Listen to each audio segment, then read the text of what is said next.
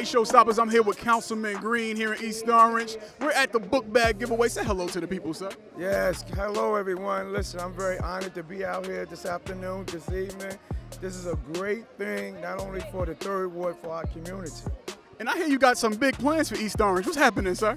Well, I always say we got big plans for East Orange because anytime that I do anything in the community, I always say we because it's a we thing. But I'm looking forward in 2018 to being the mayor of the great city of East Orange.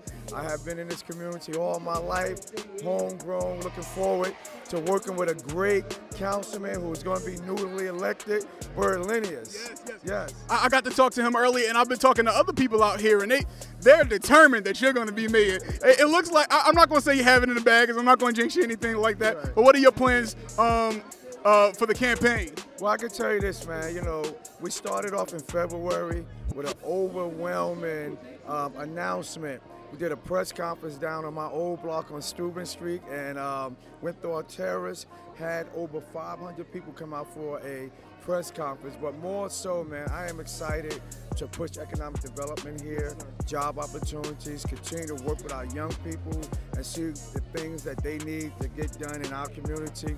Work with anybody from nonprofit, for-profit organizations in our community, brothers like yourself, man, who are doing this, marketing and, and, and, and interviewing me, man. We want you to be a part of it. But I'm excited about it because, man, it's a community that has nourished me and that has given me an opportunity to be where I'm at today.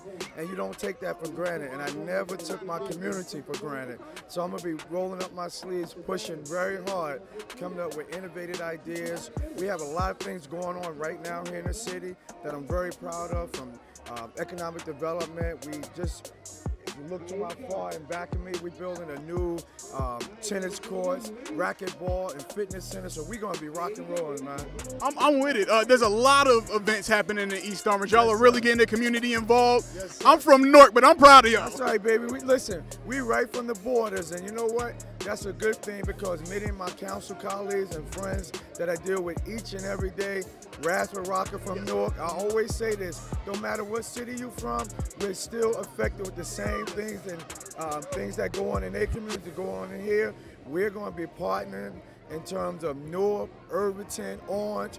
Montclair, whoever wants to partnership with the city of East Orange to make it better, I'm all in. I love that. Thank you so much sir. for this interview. I gotta do sit down with you. one of these Okay, please.